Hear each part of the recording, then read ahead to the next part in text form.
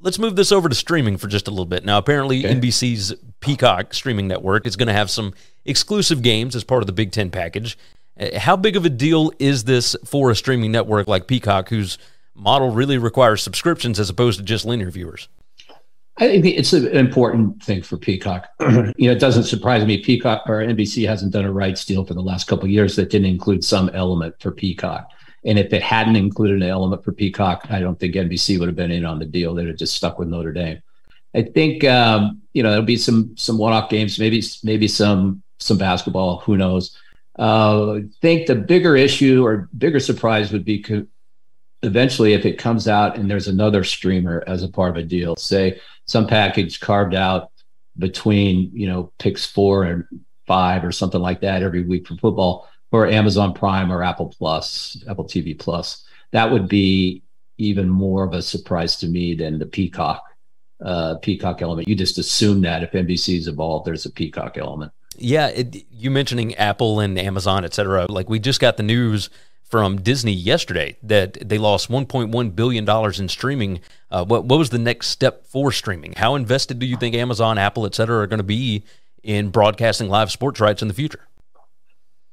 I think that they're going to continue down that path, if only as a hedge. I certainly a hedge against you know potential loss on their broadcast or cable networks. Amazon Prime is a totally different business model because it's all dependent on Prime memberships. So it's not you know they they don't really care as much about viewership as they care about people you know paying that 120 bucks a year to, to for their prime subscription. Customers right? There's yeah, exactly. There have been is, multiple people that have brought up the idea that amazon could get into the sports gambling rights space where you've got a game on the television on amazon prime right. and the ability to not only buy the team's gear right there on the screen but also to be able to bet on the game as you're watching it. I mean things like that are i mean obviously much further into the future, but maybe not as far as we're thinking, right?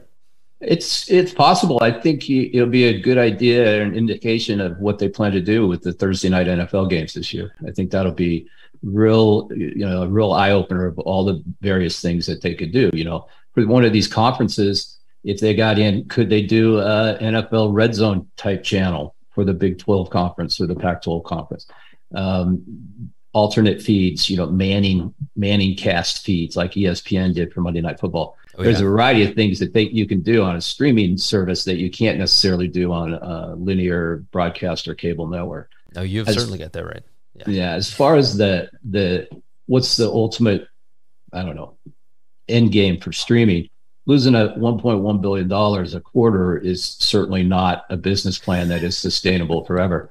I, I, told somebody, I said, that's, you know, one quarter, that's an entire year of Big Ten rights.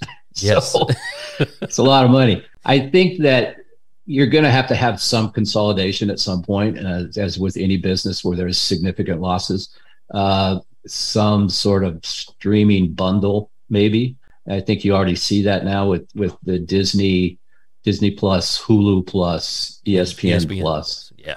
Uh, I read somewhere that um, Walmart Plus, which is their answer, I guess, to Prime, yep, uh, a, a, subscription service, might offer all of those as part, all of those streamers as part of your Walmart subscription. So there's going to have to be some new models. I'm not, I'm not sure what it is, but I can tell you one thing that that those kind of losses, whether it be you know Netflix, Warner Discovery, Peacock, the Warner Discovery Disney. stuff is mind blowing. The the ninety million dollar Batgirl film just being completely shelved, and that comes off the heels of you know CNN uh, three hundred million dollars down the drain for that one. It, yeah, it's, it's it's it's quite clear that the the guys from Discovery have an entirely different view of the streaming world than the the former uh, ATT Warner Brothers executives did. Thanks for listening to Winning Cures Everything. Make sure and subscribe on YouTube or your favorite podcast app, and make sure to leave a nice five star review. You can follow Gary on Twitter at GaryWCE, and the show is at Winning Cures.